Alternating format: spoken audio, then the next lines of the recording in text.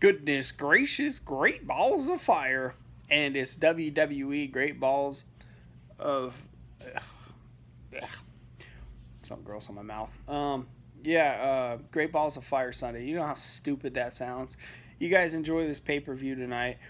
I will not be watching the WWE Great Balls of Fire pay per view tonight. I'd rather do anything. I'd rather pick some apple out of my teeth.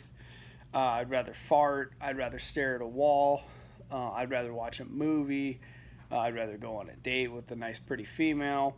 I'd rather do anything than sit there for three hours and watch some half-hearted ass pay-per-view. I'm just done.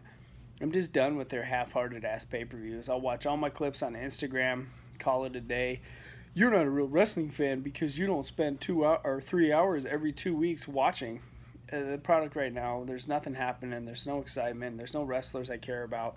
It's a bunch of wrestlers that come on the show that I never even seen before. All these call-ups from NXT filling up the time, and then Brock Lesnar. Yeah, you know what? I'll watch the Brock Lesnar Samoa Joe shit because I care about Brock Lesnar and I care about Samoa Joe. Two guys who have paid their dues in wrestling. Two guys that are entertaining to watch. I might watch that shit. I might turn a pay per view on at like eight o'clock and watch Samoa Joe and Brock Lesnar.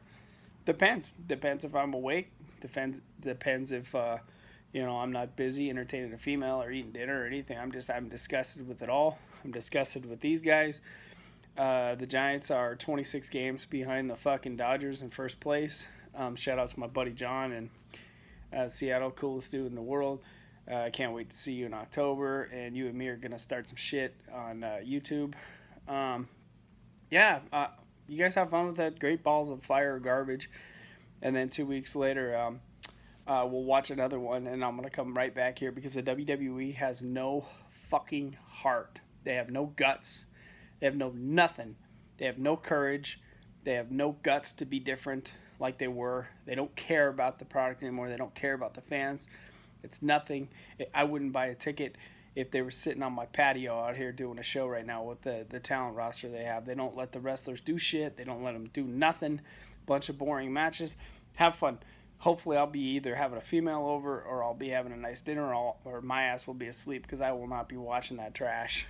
Have a great day. Fuck Great Balls of Fire.